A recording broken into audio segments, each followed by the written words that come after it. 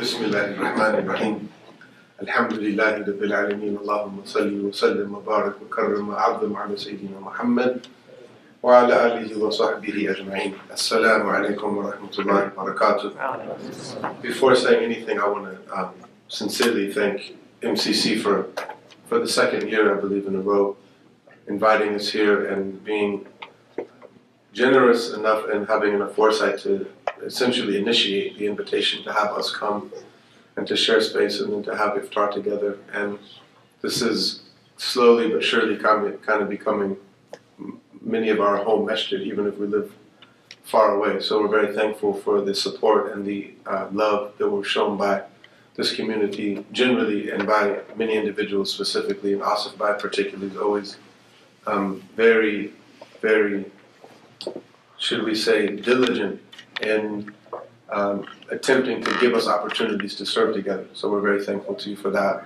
May Allah reward you and, and continue to bless this community and increase it.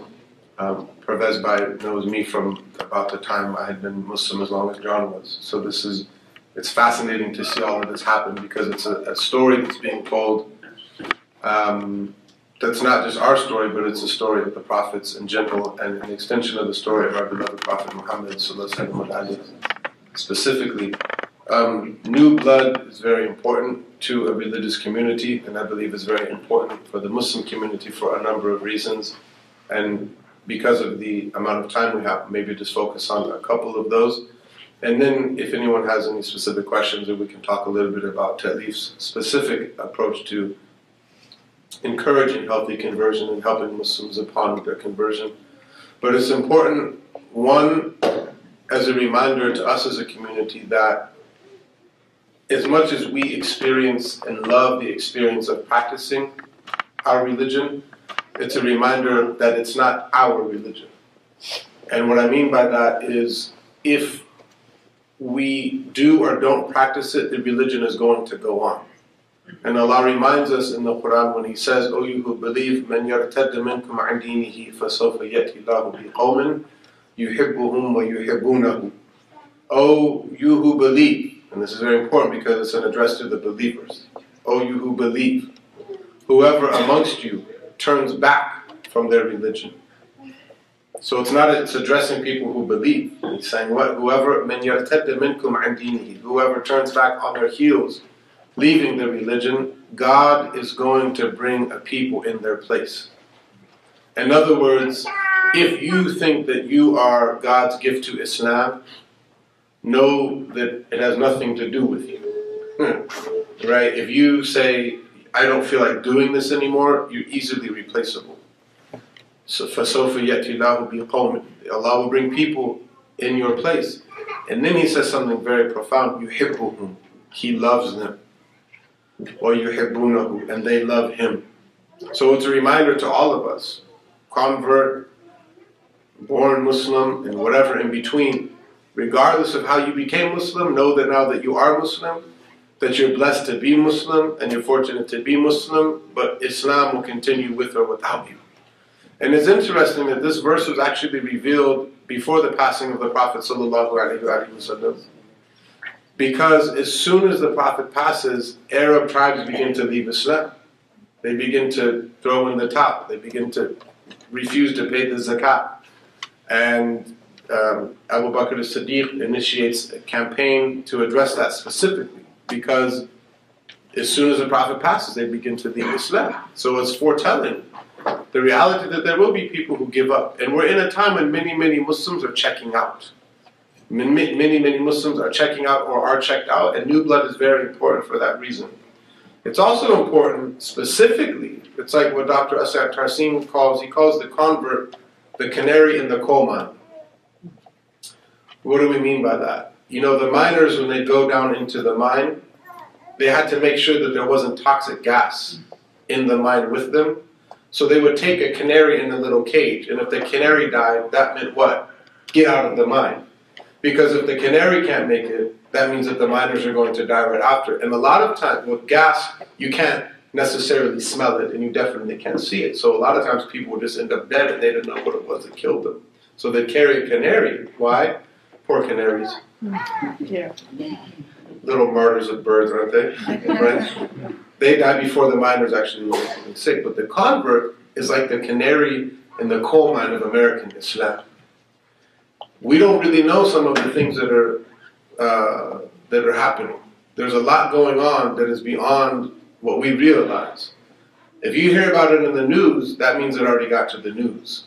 There's a lot of things happening in this society that doesn't get to the news. And there's a lot of things happening that are, that are not even necessarily outward phenomenon, that are impacting the reality of our experience. So the convert is a canary in the coal mine. If you look at the converts and you say, this is working for them, and it's working to strengthen their iman, and to strengthen their connection, and to increase them in knowledge, and to make them people who are empowered in their practice of Islam and have been afforded the opportunity to have a meaningful relationship with their Lord, if it works for them, it's going to work for future generations of Muslims in America. Why? If you take people, John's family, as I understand, are Greek immigrants. It was probably two generations ago or three generations ago, one generation ago, they came here. But John, how many times walking around school do you identify necessarily as Greek? But people that walk up and they say, "Where are you from?" You don't say Greece. Right. Huh? They think you're from a movie in the. You guys don't even know that movie, Grease. Oh, yeah. you don't identify. You say, "I'm from Fremont." Right. Right. Meaning, John's an American kid who may have descended from Greek Ancestry. ancestry. So John converts to Islam. If it's working for him, if he's learning about Islam in a meaningful way, we've got to look critically at that. We've got to say this is something that works because it'll work for our kids regardless of where we come from. But conversely, if there's things that are rubbing converts the wrong way, and not because they don't have thick enough skin, or not because they're just being sensitive, or not because they were wimps, but because there's something really wrong, then we've got to look at that as potential gas in the mine. Because if the canaries are dying, then it may say something very problematic about the reality for the future people in this country. And that's something that as a community we've got to look deeper at. Because far too often there's a dichotomous conversation around converts and people born Muslim. And there's almost a tendency to take converts and make them tokenistic, representative, like trophies almost of American Islam. And that's problematic because that's not what it's about. It's about the new blood that represents what's going to work for future generations in America. What would American Islam be like? Minus Sheikh Hamza, minus Malcolm X, minus Imam Warithuddin Muhammad, minus Siraj Wahaj, minus Ingrid Mattson. She's a Canadian, but she's close enough. minus, and so on and so forth. The list goes on. It would be a very different situation. I mean, simply put, I wouldn't be sitting here. I wouldn't have known Pervez. I wouldn't have known many of the people in the room. If Sheikh Hamza wouldn't have been there, we wouldn't have had the connections that we had. And that's just a scratch on the surface of the impact that the new blood of American Islam through conversion has brought. So the canary in the coal mine is really, really important. And then finally, conversion to Islam is a powerful testimony to Islam as a transformative power in the life of people as individuals. To even think about the fact that we chuckle at, you know, I drank a beer because I thought wine was prohibited. People, oh, that's, you know, that's, ah, ha, ha. It's funny. It was funny. I laughed too. But think about the fact that this is an individual who may have grown up drinking, and because of Islam says, you know what, boom, I don't drink anymore. Done. Alcohol's through. Any number of us who before Islam may have taken relationships with the opposite sex as something light and frivolous that you can do whatever you want, however you want, with whoever you want to do it with, becomes Muslim and says, no, there's a certain way that I'm going to engage the opposite sex in a responsible way. And if it's not in the context of marriage, forget about it. Transformative, majorly transformative. There was a brother that I know that went to prison for robbery, pretty serious robbery. Um, and he became Muslim in prison and had a similar experience to what John just said. He said, I heard the adhan and it shook my core. Brother said he went to the prayer one time and the person was reciting the Fatiha, he heard it recited and it shook his heart. He knew Islam was true, became Muslim in the prison, and then learned about Islam. He gets out and he learned uh, glazing. You guys know glazing, installing glass. He was a glazer. So he got a job at a glazing company, and eventually he got called for a job at Bank of America, and he was installing glass behind one of the like um, the, the vault areas in Bank of America. And he said these people have no idea that the same person who used to rob banks is now installing glass in a bank. And the only thing stopping me from doing what I used to do is the fact that I know Allah is watching me. It's the only thing stopping me. I'm still the same guy. Like it's still me. And I still remember how to do that. That's the scary part. I'm not talking about myself, y'all. This isn't like a pseudo name I have a friend, it really was a friend of mine. It's a, it's a facet, it's a really, really powerful testimony to Islam as a transformative force. I just got a call this evening before leaving the office from a brother in Chicago who said, I need your nasiha, I need your advice. And you never know what you're gonna get when you're on the when you're on the other end of that call. It could be any number of crazy situations. I need your advice. I called him like I said, How can I help you? He said, The killing in Chicago is just too much. There was 500 people killed last year in Chicago, 200 something this year so far. In the last two weeks, there was five children killed. Children. A mother and her child. He said it's just too much. And this is an individual who's already working in gang intervention, already brokering treaties between different gangs. He said, but we've got to take it to the next level. And I'm just calling you to get your advice. He said, because from 8 p.m. until 2 a.m., the Muslims are taking over the streets. We're stopping this. This is someone who himself spent well over a decade in prison for killing a person.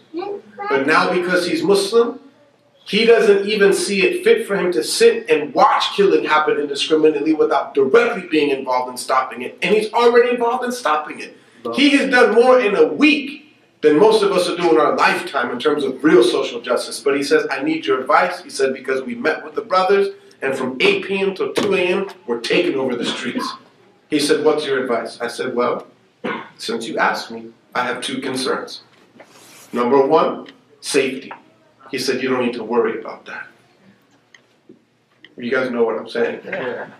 He, he said, I said, Number two, a lot of the brothers we're working with are just off of parole and they're on, or they're on parole, they're just out of prison, and they can get violated. He said we have absolutely no intention on breaking the law at all. In other words, we're not going to do anything illegal because I'm also thinking, you realize Homeland Security, NSA, FBI, and any other number of alphabetical acronyms are recording this call right now. From 8 p.m. to 2 a.m., the Muslims are taking over the streets, right? what are people going to think? They don't, they're not doing anything illegal. They're intervening to stop people from killing one another, to go places that the Chicago police literally won't go. That's a powerful testimony to personal transformation, to go from killing people to doing anything you can to stop other people from killing people. And that's why they say about those who had a troubled past, lususan fasaru khususan. These are people that used to be robbers, but they became from the elect uh, of, of the Ummah. Um, before Monica gets here, I want to say something. This is just to kind of create a really authentic uh, space. The night that John said he wanted to say his Shahada, if I would have retired after that night, I would have felt fulfilled. And the reason is this. You probably don't know all of this, but he said, I'd like to say my Shahada on Sunday. And we've seen a Shahada or two in our day, so it's, you know, business as usual. But we people still get excited, so everyone comes around. I think you got there like six or something. I said, Do you want to say the Shahada before class or after class? He said, After class. I said, As you like, whatever works for you. Then class got finished. I said, Are you ready to say Shahada? He said, No, I'm waiting for my mother. I said, Okay, well, we can wait a few minutes. So we waited a few minutes. Then I said to him, I said, Is your mother here? He said, No. I said, Do you want to wait for her? And he said in front of the whole community, she waited nine months. She waited nine months for me to come out of her womb. I think I can wait a few minutes for her. Hmm. And all of the sisters were like, yeah. like in a moment's time, he redeemed half of the species because of that statement, right? the ladies were like, she finally, yes. And then he waited for mom. And then mom came. And she held his hand while he said his shahada. And I looked up, I remember looking up and seeing Micah across the room. He's crying. I'm crying, but I'm trying not to let anybody see that I'm crying. Mom's crying, and John's crying. Everyone's crying. And there was this moment where I said to myself, it's happening. Alhamdulillah. But there's two things I thought after that. The first one's more problematic than the second one. The first one I thought was, how come I didn't think about doing that? Mm-hmm. It didn't even cross my mind it didn't even occur to me, take your parents with you to the masjid for your shahada. And the reason it didn't is for so many people from my generation, our conversion was part of, who knows what part? It was part of a social rebellion. It was part of the proverbial rage against the machine. It was part of our revolution. So I'm converting partly because I want to agitate the situation with the power structure. Why would I take my parents with me, right? I want to go and say, I'm Muslim, deal with it, right? That's part of the 1990s Generation X culture. That's the first thing I thought to myself, how come I didn't think about that? And the second thing I thought to myself was, if I had thought about bringing my mother, or any family member for that matter, to my Shahada, I would not have had a place that I could have realistically taken her to. Because things have changed. Things have changed a lot. Even in the 16 or so years I've been Muslim, things have changed a lot for Muslims in the Bay Area. The idea that not only will we welcome our friends and family members and neighbors and our colleagues from other faith communities, not only will we welcome them, but we will make their accommodation and their feeling comfortable an absolute priority for our community. That's a significant shift. In other words, it's not just like, yeah, you can bring your friend. It's like, no, bring your friend and they will be royalty to us. Let alone if you bring a family member, let alone if you bring your mom. If you bring your mom, you have to roll out the green carpet, right? green, green instead of red Muslims. no, but that reminds me of a, of a, of a situation I had, and this is what I mean about the canary in the coal mine. My wife and the kids one year were with my mother during Christmas, and I was on my way to Mauritania to visit some of my teachers. And I called my mother, I think on Christmas Eve or Christmas Day or sometime around that time. And she said to me, Son, you'd be really proud of me. I said, Why? She said, We had a Muslim Christmas this year. and I know half of you in the audience are going, A'udhu Billah. because that's what I thought. I was like, A'udhu Billah, Muslim Christmas. I didn't say that to her. I said, Mom, uh, what do you, what do you, she said, well, I know that the Prophet Muhammad's favorite color was green. So we only put green lights on the tree. and instead of putting an angel on top of the tree, we put a star and crescent. I was just like, oh, okay, mom. Left it at that. I could have easily said what? Haram, bid'ah, shirk, not necessarily in that order. Repeated it three times. Mom, don't you know? This is my religion. My kids are there. What are you teaching my children? Trying to pollute the pure Islam. I said, okay, mom. And I left it at that. Probably two years later, and my wife is here, she'll tell you if I'm making anything up. two years later, I was there for Christmas. My father is a devout Christian, goes to church devoutly. My mother is kind of like, well, you'll, you'll get it in the story. And Muhammad, mm, well, actually, I'll tell the story in a different order. Before that happened, this was really interesting. I was cooking in the kitchen, thank God. And my mother came up, she said, I still have the star and crescent. She said, Would you put it on the tree for me? And that's outside of my comfort zone. Like I personally, I just wouldn't feel comfortable doing that. Personal conviction, call it what you want to. But what did I say? I said, Mom, I'm cooking. I got food on my hands. I can't, I can't do it. She's like, okay, fine. So they did it. Then, about 10 minutes later, my oldest son, Muhammad, came to his grandmother. He said, Grandma, I'm confused. And that's a conversation that many of our kids, some of them in grad school, if they had a space to really have a conversation, they would say, What? I'm confused if we're being honest.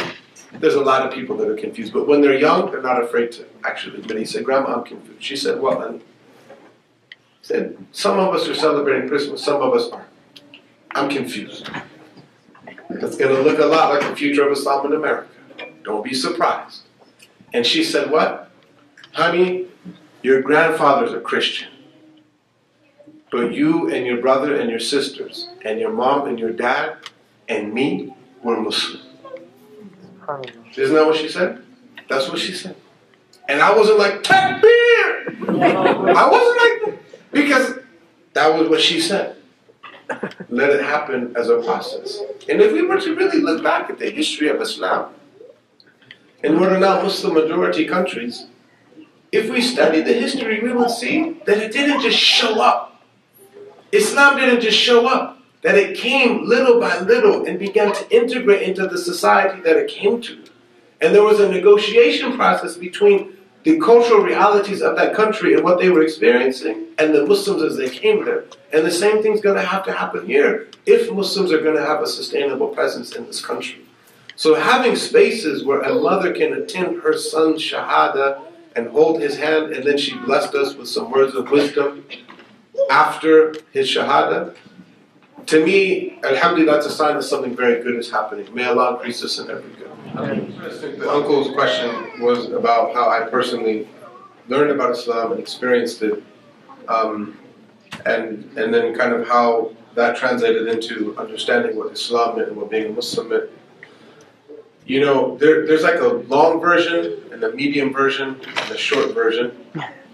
Um, there's not. I don't have like a tweetable version yet of that story that to try to get it that short, because like when you heard John talk about beginning to ask the question of the reality of God, that's where it began for me. And I was both um, challenged and blessed by the fact that my household did not have a standard religion. My father came from a very traditional black Baptist family, and my mother uh, was nominally Christian and interestingly converted to Mormonism as a young lady. So she was a, a what you call a Jack Mormon. She was a Mormon that wasn't particularly adherent to her faith, but she was interestingly the Mormons. Every single time my mother got sick, it was in the hospital or had a child or a birthday. She had left the church 20 plus years before that. They still would come check up on her. They'd know if she was in the hospital, they knew she was there, and they'd show up at the hospital. I don't even know how they knew, but they did. So I didn't have like a state religion, so to speak, or a standard religion in the house. So asking the question of God's presence and reality was a personal one. The Nation of Islam was the first opportunity that I had to look at anything outside of standard kind of the Christian offerings. So I first heard about the Nation of Islam through my older brother, or heard about it through hip hop music, and then joined the Nation of Islam, and through his experience of the Nation of Islam, met a Sunni Muslim named Bilal, Imam Bilal, Jazahullah khair. And then he told me about Islam. So when I left high school, I identified as a Muslim, but I hadn't said my Shahada. And Yahya Rhodus and I went to school together since like sixth grade, so we were both on this kind of spiritual journey, traveling together. And then in high school, we began to meet Muslims, and then we met Brian Davis, now, now known as Mustafa Davis, and he and I were in sushi one day. Um, there's, this is the medium version, believe it or not. But we were at sushi one day, and he says to me, I'm thinking about revisiting religion. I said, You should become Muslim. He said, Are you a Muslim? I said, No, but my brother is. He said, Well, what do they believe? I said, They believe in the oneness of God and they believe in Prophet Muhammad. He left and went to Barnes and Noble with the intention to buy a Bible. Look, he goes with the intention to buy a Bible. And on his way into the religion sections, comes to Eastern philosophy and sees the book Muhammad by Martin Lings. He picked it up and he said that all of the Abu Ibn Abu Ibn this is really hard to give a lecture while you guys got that up at the front because no one's going to concentrate.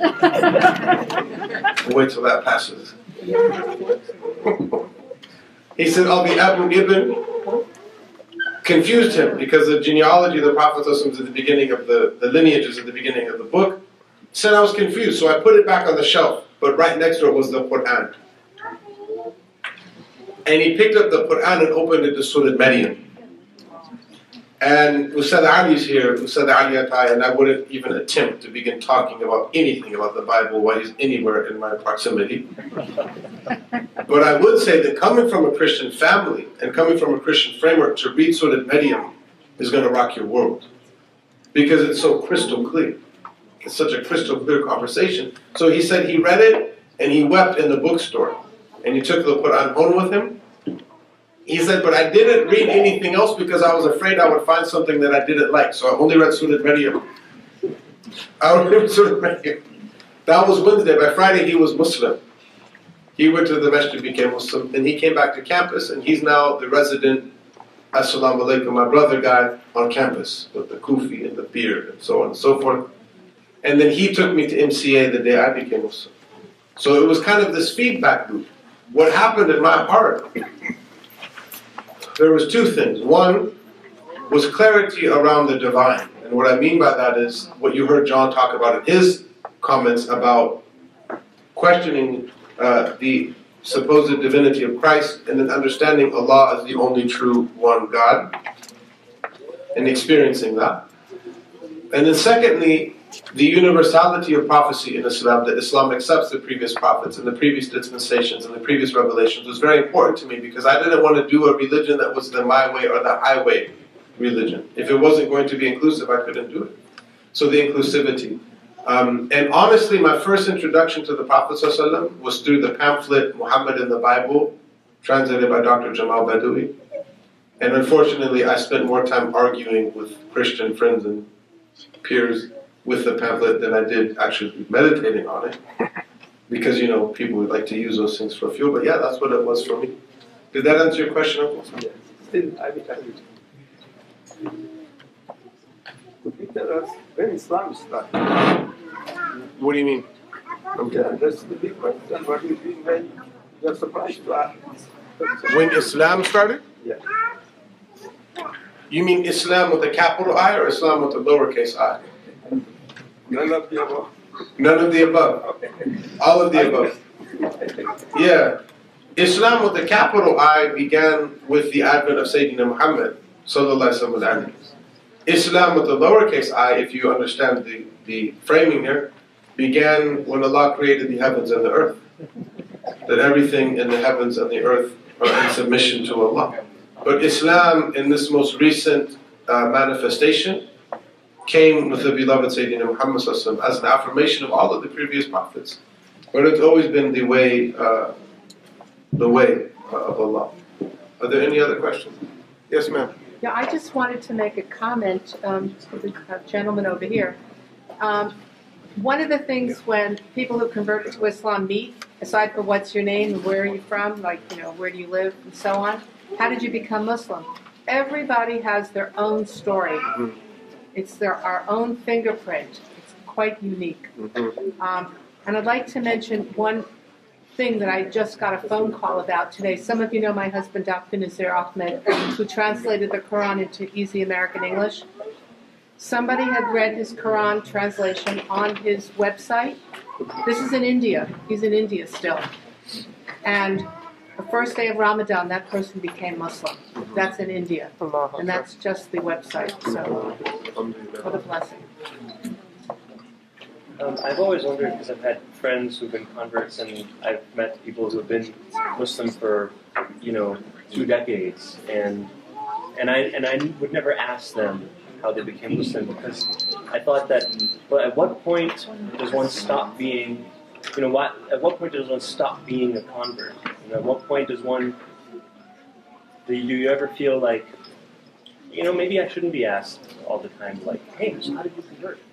Um, and I just don't. I mean, I just don't know what's what's appropriate or not appropriate because I figure the point is that they're Muslim now, and we have to help them, help any Muslim, whoever they are, with whatever issues they're having. But just at what point, you know what I'm saying? Yeah, I mean, I hear you asking a deeper question. And it's almost kind of like when do converts stop being trophies and when do they become members of the community? Right, right. Because it's really not even so much what you're asking, but how you're asking it. Uh, and I'll give you one gauge. When people have names and they're not called New Brother, I'm not trying to be funny. the new brother or the new sister has a name. Her name is Sally, or her name is Selma, or her name is Suad, or her name is whatever. And his name is Juan, or his name is Jeffrey, or his name is Muhammad. He's not just a brother, he's a person. And this is what the what I heard the anti trying to highlight is that everyone has an individual story. I mean, you never stop being a convert. You, the Sahaba never stopped being converts. There were people who embraced Islam from a different faith.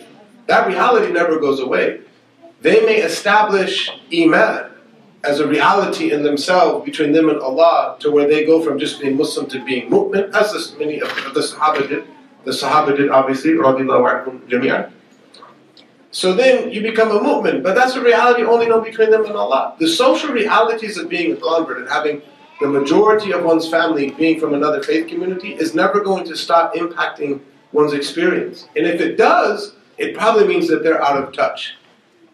And it's something that they should be really worried about. If they if they're not in touch with their family and if that, that healthy agitation isn't always there, they're like, yo, there's there's there's some difference here.